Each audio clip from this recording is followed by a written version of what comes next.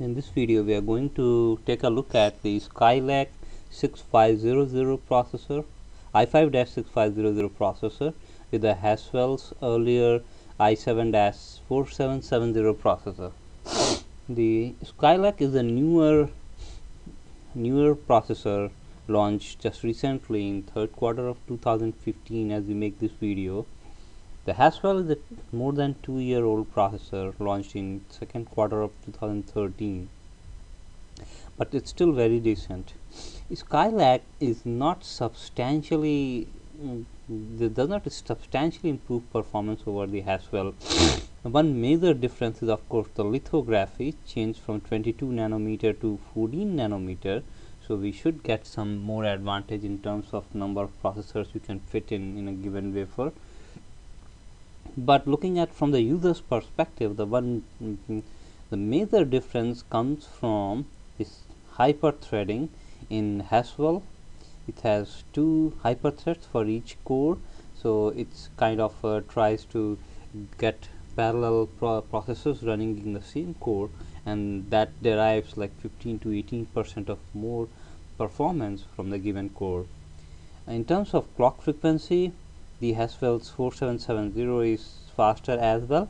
Its base clock at 3.5 versus 3.2 gigahertz and turbo clock at 3.9 gigahertz versus 3.6 gigahertz in the newer ice skylake uh, 6500 and then other than these two we also have uh, higher cache memory for i7-4770 8 MB versus 6 MB with these three we expect the i7-4770 uh, we expect it to be uh, better in performance. We'll look at the benchmark score shortly. Just a couple of more things that we point out the differences between these two. The um, the Skylake now supports the DDR4 but you don't get more performance out of which it's mainly that it uh, works only at 1.2 volt versus 1.5 volt for DDR3 and that uh, saves more power. As of now there is no performance in advantage of DDR4 but in the future we expect that it's it's going to be slightly better. Uh, in terms of integrated graphics we have a newer HD graphics 530 it's slightly better than the HD graphics 4600 in Haswell with these three things let's take a, take a look at the uh, benchmark score what we have here. Um, the i7-4770 has a rank of 98 uh, to 9854 and let's take a look at i5-6500 here. I5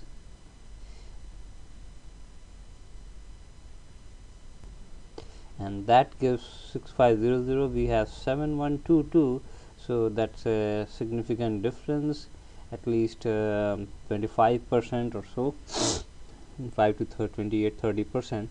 Uh, so so Haswell's uh, earlier 4700 is still significantly faster.